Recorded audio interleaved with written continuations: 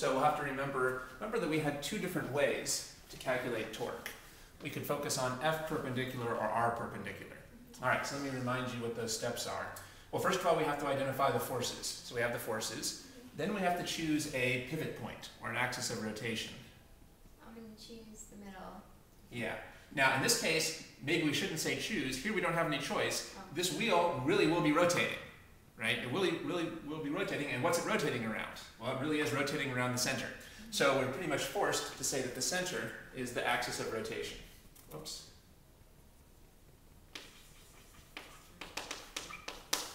So here's our pivot. All right, so this is the axis of rotation. Remember that if the object is not rotating, you can choose whatever is convenient to be your axis of rotation. But if the object really is rotating, you have to choose the point it really is rotating around to be the pivot in the axis of rotation. So this is our pivot.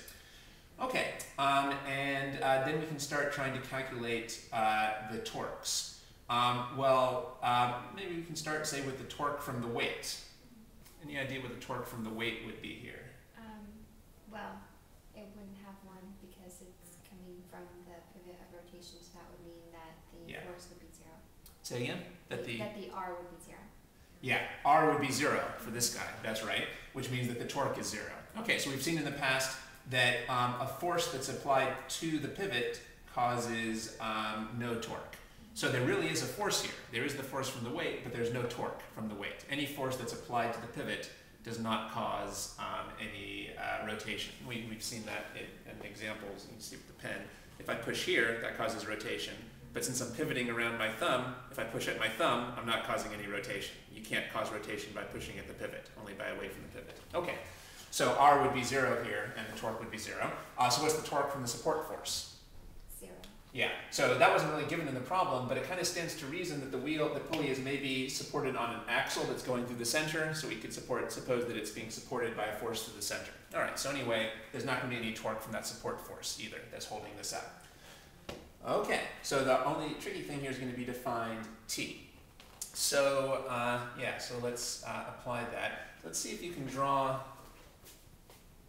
we could use either the R or the R perpendicular approach um, here. Okay, let's think about that a little bit more. Uh, I guess we can use, say, uh, I guess we can use the R approach. So remember, where is R supposed to go from? Um, the pivot to the point of application of the force. But this is the point of application of the force, right? Because the point of application is where the rope is touching the wheel. So here's our point of application. So this would be the r vector. We should also determine the r vector. So what number is the r vector? Um, it's the, it's, it's the same as the radius in this case, Which is, which is fifty centimeters. Right, but we have to use standard units. Mm, so it's, um, point zero five meters. Right? Uh, yeah, it would be, it would be 0.5 meters. Point five. 0.5 meters if we translate centimeters into meters. Okay, so we don't want to draw the r vector to the tip of the tension force here. We want to draw it to the point of application. Well, the point of application is where the rope is touching the pulley. So that would be our r vector. Okay. Um, now, what do you think this angle is here?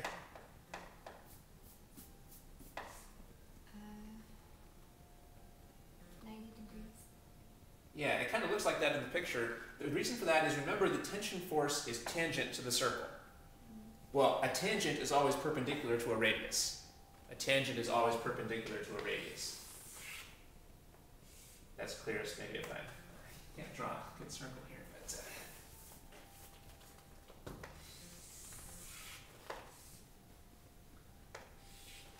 So here we have a tangent and here we have a radius. You can clearly see that the tangent to the circle is perpendicular to the radius. But that would be true for any radius and any tangent.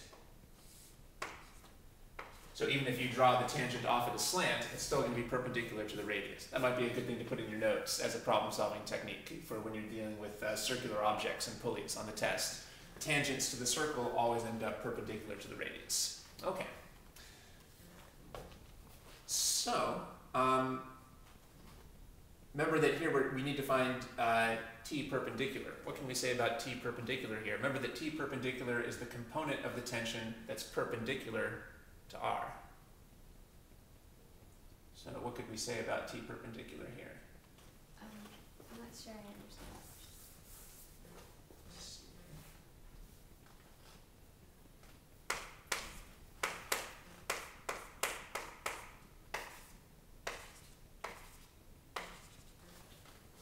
So we're going to be using this equation. Okay. We're using uh, this equation for calculating the torque. Or maybe better yet, maybe we can just put in the sign. Uh, we'll, we'll leave that sign for later, so. So now what is the force we're focusing on? The force is the tension. The force is the tension.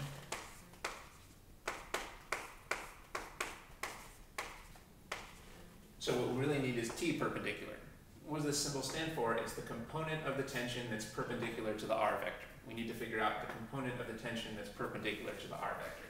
Well, the entire vector is perpendicular to R, right? Yeah, that's right. So, so what, what should I say T perpendicular is? T. Just T. Well, that's good because that means we don't need a new variable. The fewer variables we have, the better. So.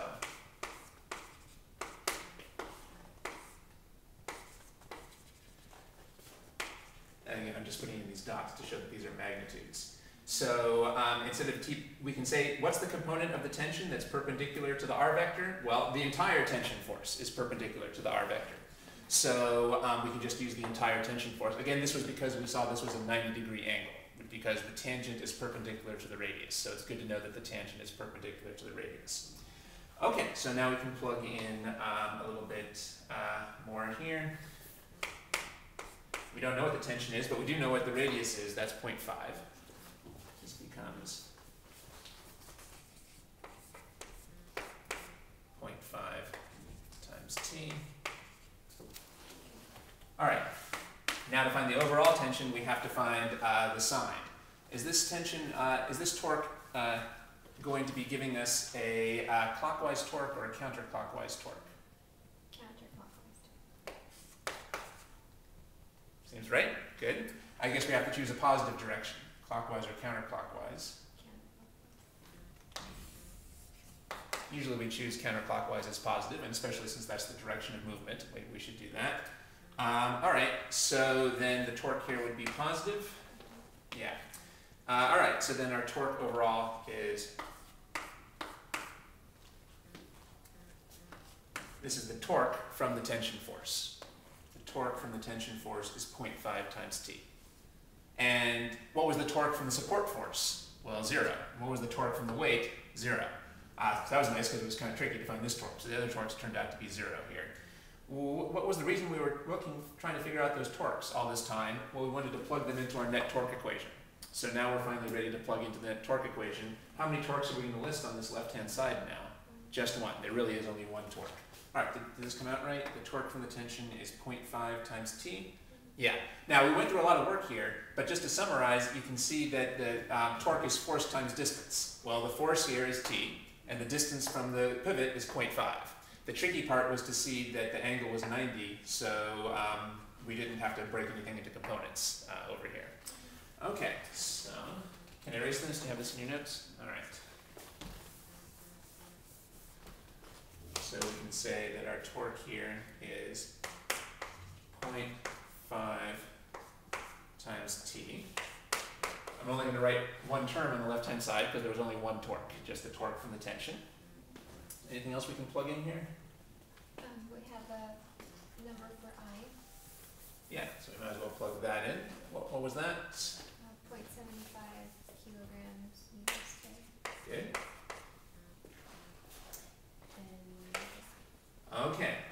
Uh, so where are we? We've got this equation and this equation. Okay. So how many equations have we written down? two, Two. This one and this one.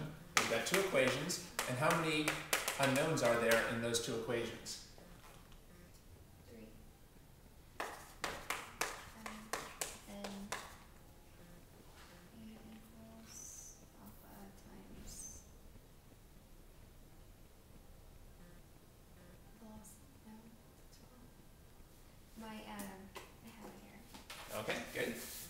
Um, yeah. Uh,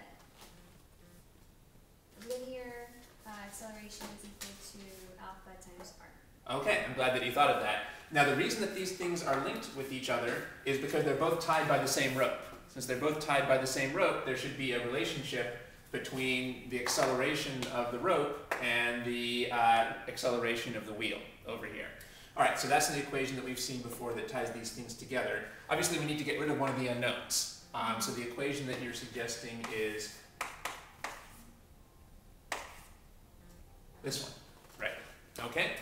Um, so this is the equation that says that the linear acceleration is the rotational acceleration times r. So this is a nifty equation because it relates translational and rotational.